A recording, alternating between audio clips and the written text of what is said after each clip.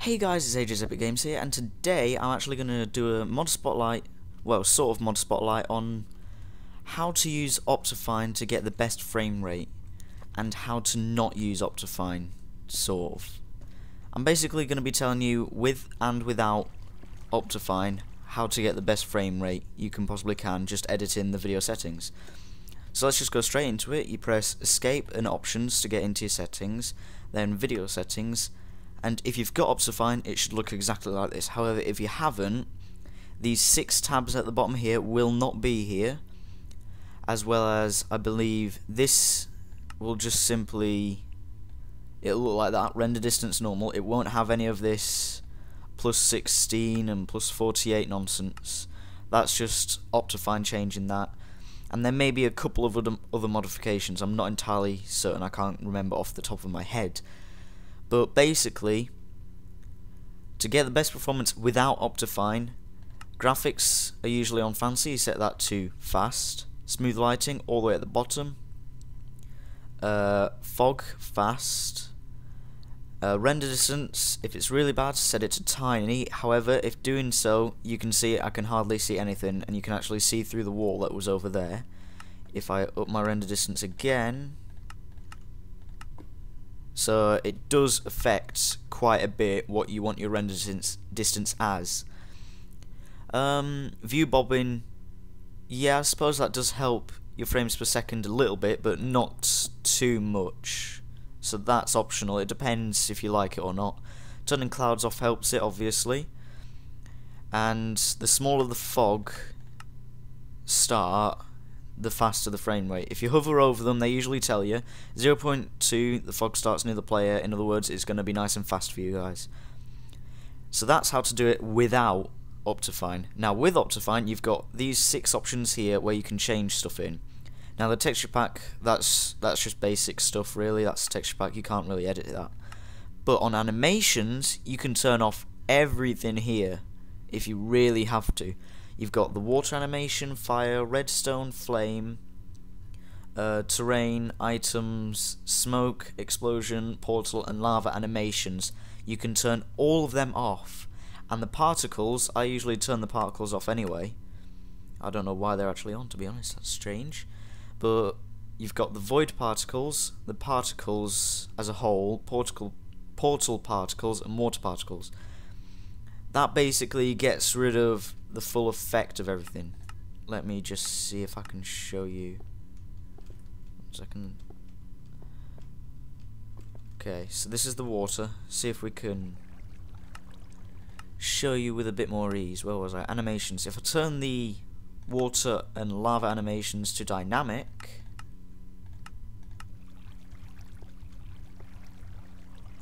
It looks a bit smoother and I believe you can see through it easier for the water. However, if I just turn it off completely, nothing. It will stay completely still. So if you're in the nether, this particularly helps you a great deal. Because look, it's still got the current. I'll show you in a minute. Still pushing me. Still pushing me. It just stops the actual animation. Um, so that's basically the animation part. You can put this, usually it starts off as all for particles. You can set it to decreased or minimal, that usually helps, and rain splash, you can obviously turn that off. So you can fill around with that quite a bit.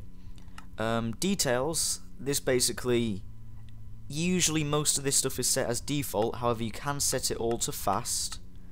That improves your frame rate, but you can also set it to fancy depending on your computer. I usually just leave it as default. And the rain you can actually turn off. The sky you can turn off. That basically, let me go outside and just show you. If you're wondering what this map is, this is for a uh, little project that I'm doing. Yes. So, the sky... Whoops, wrong button. Where are you? You were in details, weren't you? If I turn the sky on, you can see in the background the sky up above the top turns blue.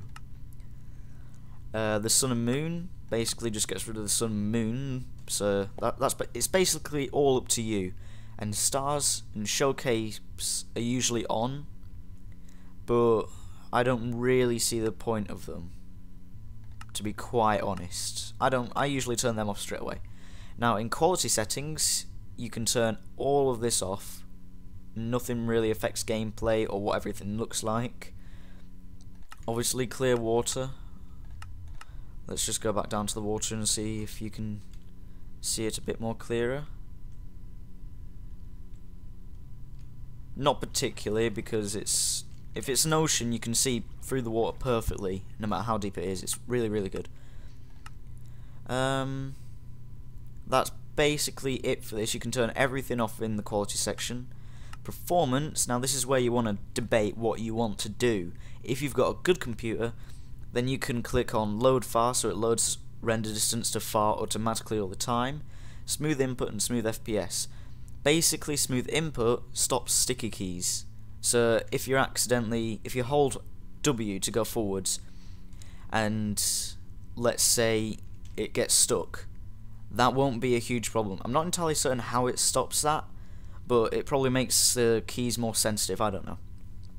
Smooth FPS basically levels it out stabilizes it as it says in the little description thing that's popped up there. And preloaded chunks defines an area in which no chunks will be loaded. So that's all up to you. You can set it to 2, 4, 6, 8. That's pretty much it. I usually just have it as off. It's not that important. Chunk updates basically says how fast the world loads for you. So if you look in the description it says 1, which is the default, slower world loading for higher FPS, and 5, faster world loading for lowest FPS, because it does 5 chunks per second, per tick I believe it is. And the dynamic updates is relatively pointless as well. Um, other, in the other settings, it'll automatically save your world at 3 minutes by default. So you can just change this however you want it. I usually just set it as 30 minutes because then every three minutes you're not going to get a sudden tiny little jolt that you notice. Um, weather is usually on, you can turn that off. If you're in single player, the weather will be off. You will not get any rain or snow ever. So that's quite good, but it will not work in multiplayer. Full screen, you can just edit the full screen, what you want your resolution to be at. I usually just have mine as default, wherever it's gone, there it is. The time, you can have it as day only, night only, or the normal time, which is default, so it'll cycle through normally. But that is pretty much Optifine. If you go into the controls, you'll see you've got a lot more stuff.